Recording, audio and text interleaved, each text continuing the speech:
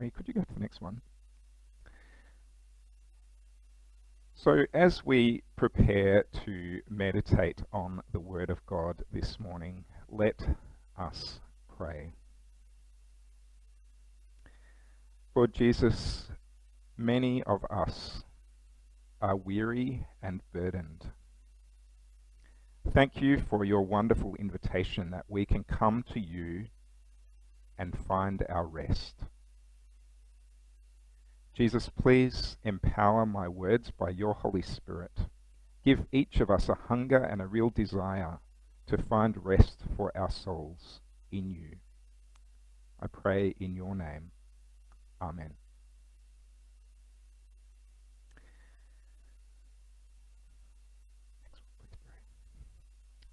So, this is the beginning of a sermon series called Find Rest for Your Soul. The stunning and wonderful invitation of Jesus is that those who are weary and burdened can come to him. That those who have a heavy laden soul can actually come to Jesus and find their rest in him. Barry, could you just click to the next slide? Thank you. Now, first of all, uh, and the next one, thanks, Barry. First of all, I want to acknowledge that much of the material uh, from my book, uh, from my sermon series, is from catalyzed by a book called The Ruthless Elimination of Hurry. It's got a subtitle that says Staying Emotionally Healthy and Spiritually Alive in Our Current Chaos, and it's by John Mark Comer. I think that we really need to, uh, I, I can't recommend this book highly enough, but a lot of the, the ideas for this sermon series have come from this book. If you want a great read, if you want a book that could potentially change your life, I encourage you to get a copy of The Ruthless Elimination of Hurry. I've said it before, and I'll say it again before this pandemic is over. This is the first time this century that busy has not been the defining adjective of our lives. Before the start of 2020, if I asked anyone how they were, I guarantee that within two sentences they would say, busy. Our lives are rushed. Our lives are hurried. Our lives are often burdened weighed down by many, many things. And hurry, busyness, the relentless pace and productivity of life is one of the things that really burdens us.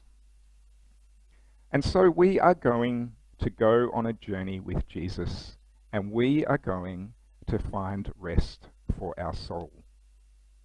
I love one of the quotes that is right at the start of this book by John Mark Comer. He's talking about uh, two uh, men, two pastors that he really respects. And one of them was a mentor to the other, and the, and, um, the first one rang his mentor, and the conversation went something like this How can I be more the me that I really want to be?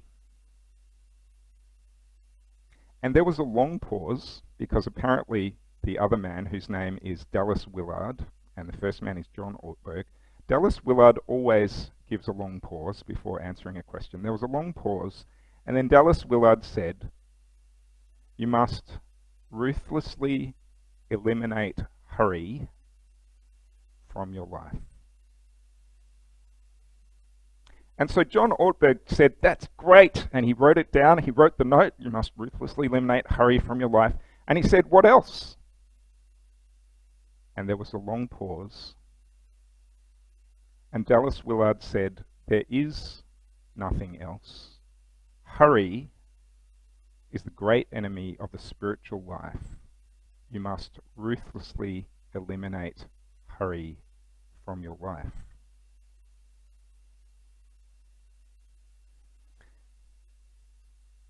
Hurry and busyness are often the things most likely to kill or to at least severely injure our spiritual life, our life with God.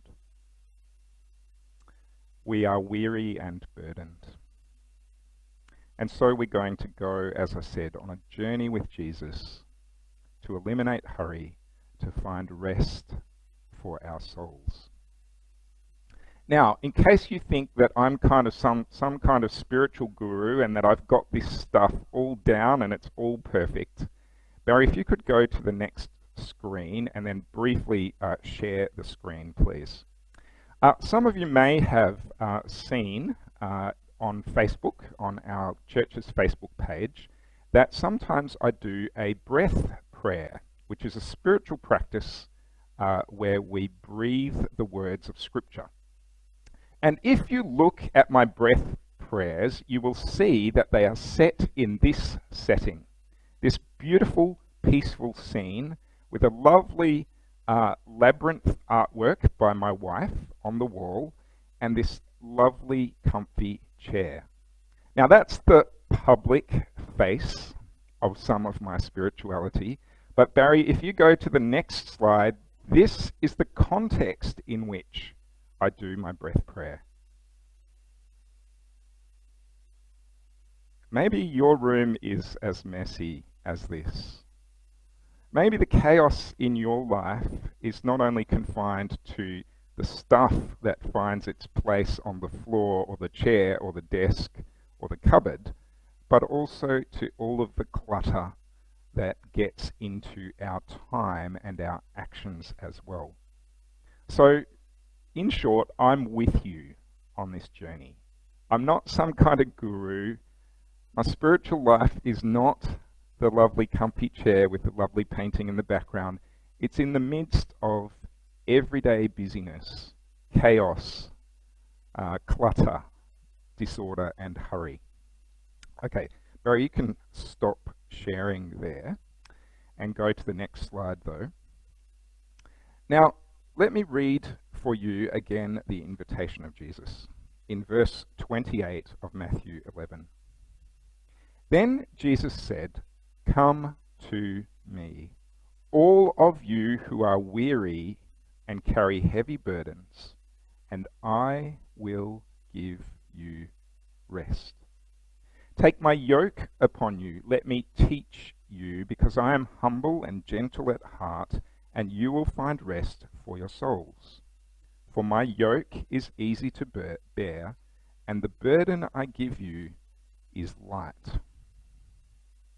Just want to dwell for a moment on those three words in this teaching of Jesus burden, weary, and yoke. A burden is something that weighs you down. The word is originally from what is loaded on a ship. And you can imagine that as things are put on the ship, the ship gets lower and lower and lower in the water. Well, burdens that are put on us make us get lower and lower and more hunched and more oppressed in our humanity. Jesus has come to bring liberation from burdens of all kinds. He's come to lift those loads that bow us down and that diminish us as people. The word weary is from a word that means to be beaten up if you ever feel like you're beaten up by life, the, the weariness that is caused by the constant things that keep on pummeling us all the time, then this word is for you. It's also about the exertion of manual labor that brings tiredness. You know, maybe Gary, when you've worked like really hard all day in the garden, and you just, Gary's laughing at me, and you just, you have this kind of heaviness in your body. You don't have much energy left. That's, that's what weariness is like. And finally, this word yoke, it's really a word that we don't understand very well. Um, Barry, could you share and go to the next slide, please? And share the screen. What we have here is on your screen about now is two oxen and the wooden beam between them and the equipment that holds it together is the yoke. This is a really strange symbol for Jesus to say, I will give you rest if you take my yoke upon you. Because a yoke is an implement of work. Also, though, a yoke was a common idiom in the first century for a rabbi's way of teaching and reading the Word of God. It was a, a teacher's set of teachings on how to be human how to shoulder the load that life inevitably puts on us. So Barry, if you could just stop the share there, please. So Jesus' invitation here is to take up his yoke. But what does that mean? It means that we are connected together with Jesus and we are walking with him along the road of life. And it's actually Jesus then who bears the great weight of the burdens that bow us down. But here's the thing oxen don't walk very fast. They actually go really slow and steady. And so if you are bearing the yoke of Jesus, if you take up his invitation to find rest, you can't pull ahead of him. You can't behind him. You can only go at walking pace with Jesus. Unhurried, patient, steady we will get there.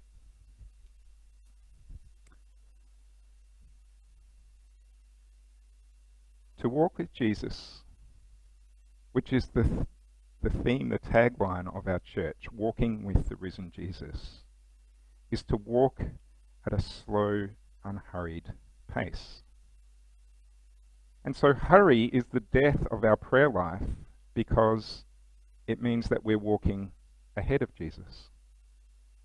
Anxiety can be deadly to our prayer life because it means we're pulling back and not walking with Jesus. Jesus' invitation to us is to take up his yoke, to travel through life at his side, to learn from him how to shoulder the weight of life with ease. And so to step out of burnout society into a life of soul rest. Now, here's some of what I learnt from John Mark Comer's book, The Ruthless Elimination of Hurry. If we want to live the life of Jesus, that life that is characterized by joy and peace and love, if we want to live the life of Jesus, then we need to take up the lifestyle of Jesus. The secret involves living as Jesus lived and adopting his lifestyle. To ask, what would Jesus do if he were me? Not that old famous question, what would Jesus do? But what would Jesus do if he were me? Because Jesus was a first century Jewish rabbi. He wasn't a 21st century grandfather or grandmother. He wasn't a, an immigrant looking for work. He wasn't a parent with many small children, what would Jesus do if he were me? You see, Jesus says he is the way and the truth and the life. And we often focus so much on Jesus as the truth that we don't live with Jesus as the way.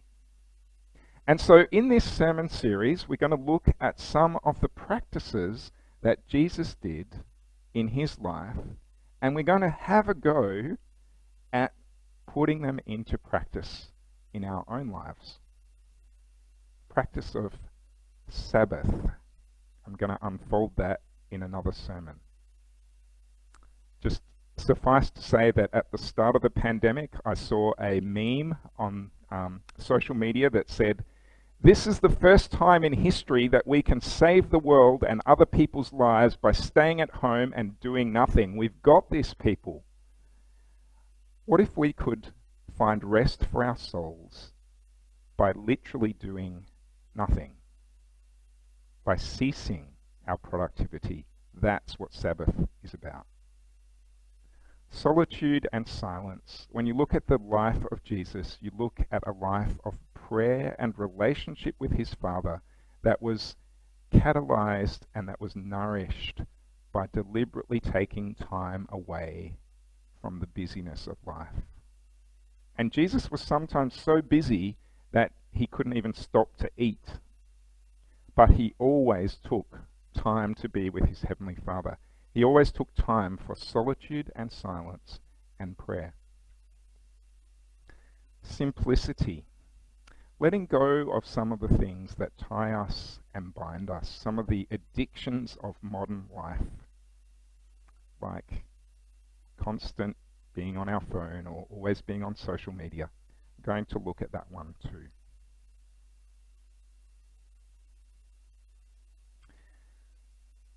I want to finish this sermon in a way that's quite different from normal.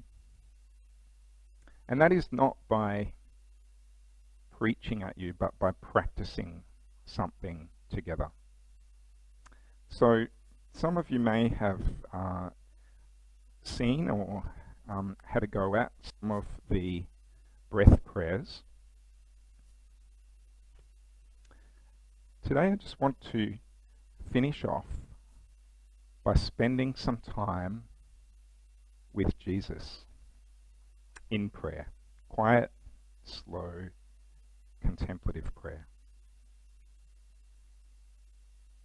Kids can do this. I've seen children here at the college do contemplation and really appreciate it from prep all the way up to year 12. So find a comfortable place to sit.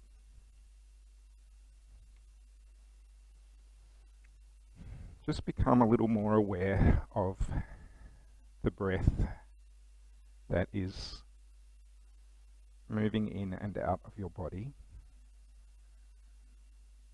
Let your body relax.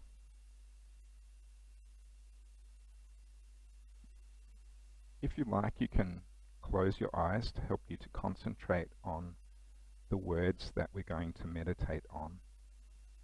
And as we do this, I'm reminded of uh, something that my seminary lecturer said once. He said, when we meditate on Scripture, when we engage our imagination to enter into the text, we're not imagining something that is not real.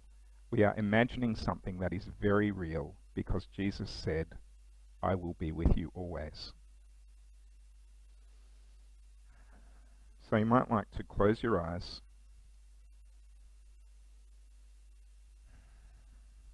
be still and aware of the presence of God within you through His Holy Spirit and all around you.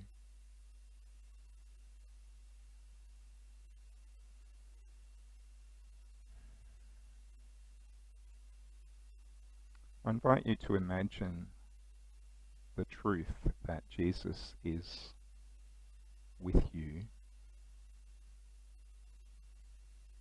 maybe sitting beside you or maybe just in front of you.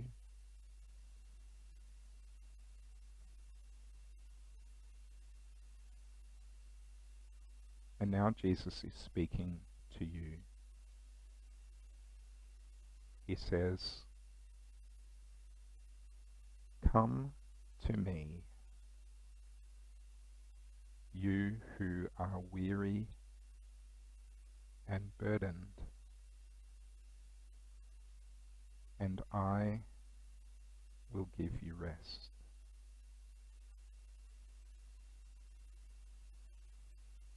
Come to me, you who are weary.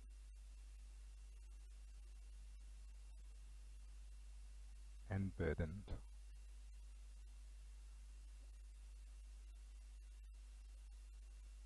I will give you rest.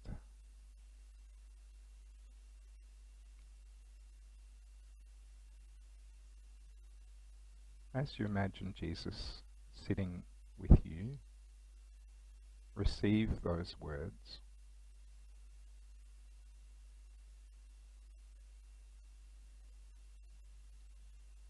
In your mind, you li might like to say something to Jesus.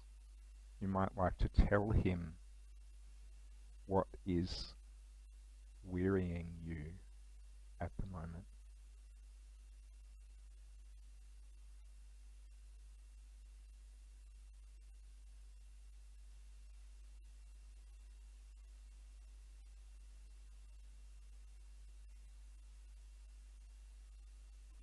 see what Jesus does as he listens to what you are saying.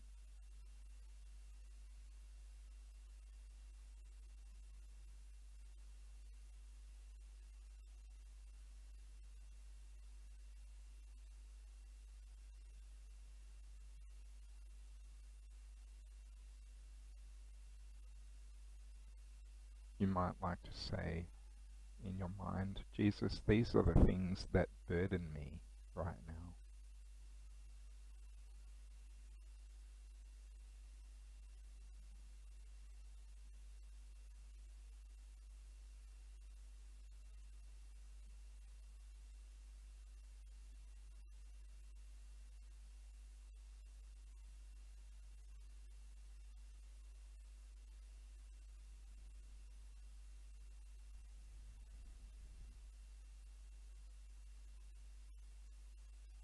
Might like to imagine yourself kind of physically handing your burdens over to Jesus.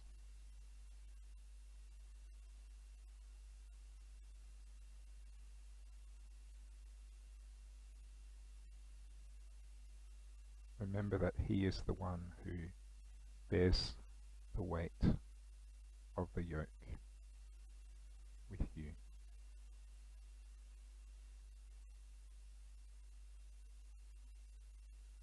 Jesus says, I will give you rest. I receive your burdens. I walk with you and lift your weariness. Take my yoke upon you.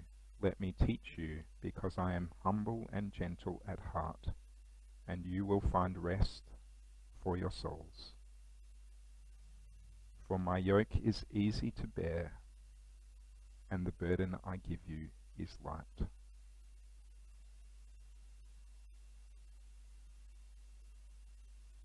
Thank you, Jesus, for carrying our burdens, lifting our weariness, and inviting us to walk with you with your easy yoke. In your name we pray. Amen. Invite you to slowly come back to awareness of the space around you. When you're ready, uh, open your eyes and slowly return to what is happening here.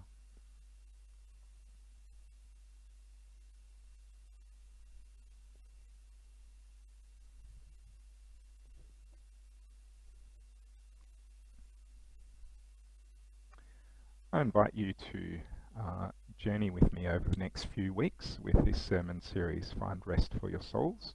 And you might know someone who might benefit from uh, learning and listening and uh, walking the way of Jesus in these ways. And I'd like to encourage you to invite someone to zoom in uh, to our worship if you think that will be of blessing to them.